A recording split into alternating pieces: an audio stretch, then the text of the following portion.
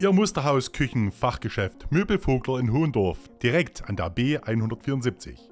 Wir unterstützen die Vereine unserer Region. Informationen unter www.möbelvogler.de. Möbelvogler, Möbel und Küchen ganz persönlich. Erreichbar trotz Schranke vor der Haustür.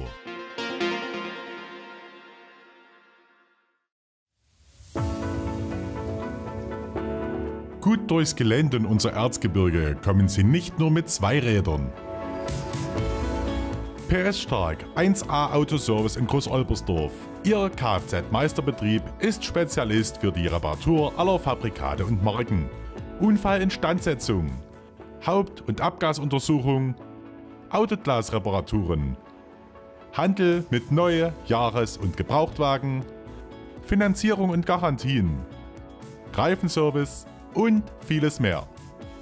Wir, die Firma PS Stark 1A Autoservice in Groß-Olbersdorf, unterstützen den äh, Motorsport, vor allen Dingen unsere Jugend, aus dem Grunde, dass die Kinder lernen, auch etwas anderes wie ihr Handy, ihren Laptop zu nutzen und auch den Zusammenhalt untereinander zu leben und zu fühlen. PS Stark 1A Autoservice in Groß-Olbersdorf.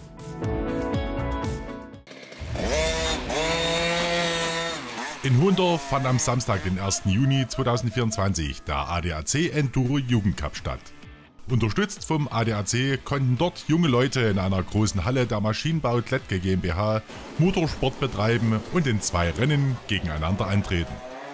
Bei der Jugendarbeit im Endurosport ist Sachsen da Vorreiter. So auch der Offroad Club Hilmersdorf, der einer der aktiven Vereine ist und nichts dem Zufall überlässt.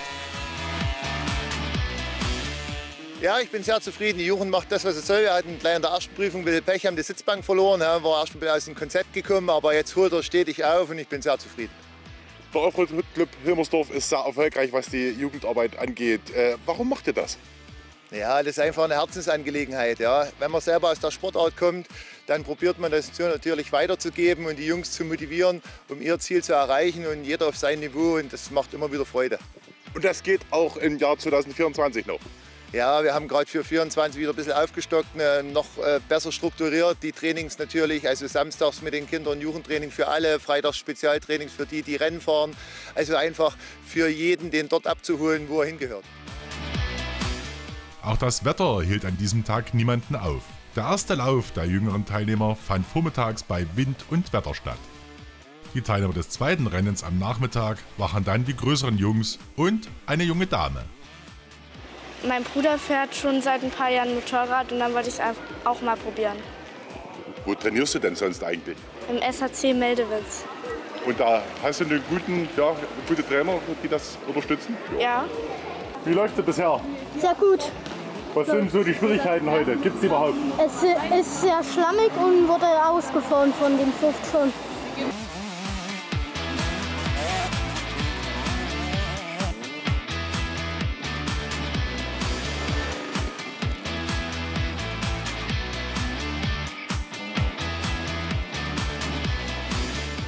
Diese hatten mehr Glück mit dem Wetter.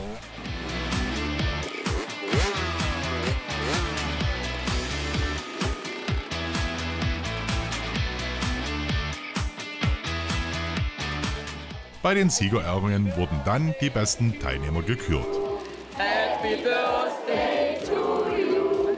Happy Birthday, Happy Birthday to you. Ganz klar, die Enduro-Szene ist eine eingeschworene Familie. Gleich zwei Motorsportfreunde feierten ihren Geburtstag vor Ort. Was für eine schöne Geburtstagsüberraschung. Der eigene Sohn ganz oben auf dem Siegerpodest. Am Ende des ersten Laufes konnten sich der Sieger Mika Klose, der zweitplatzierte Tim Tränkner und auf dem dritten Platz Henry Richter über Pokale und weitere tolle Präsente freuen. Leer ging dennoch keiner der jungen Teilnehmer aus.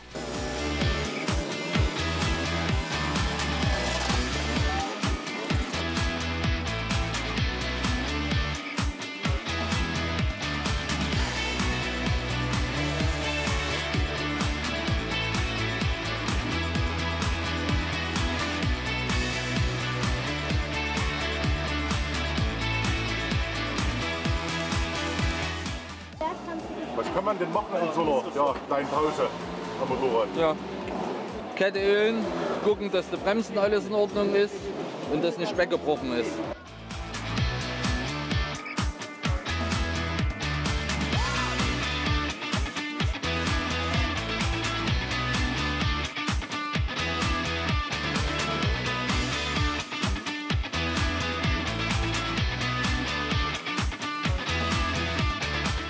Den zweiten Lauf der größeren Klasse gewann Jordan Wittenberg vor Lenny Baum und Paul Kerr.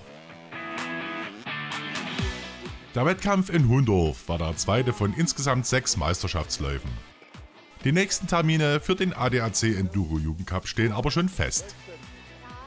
Am Ende werden wir sehen, wer diese kleine Meisterschaft gewinnt. Wir feiern die Kinder.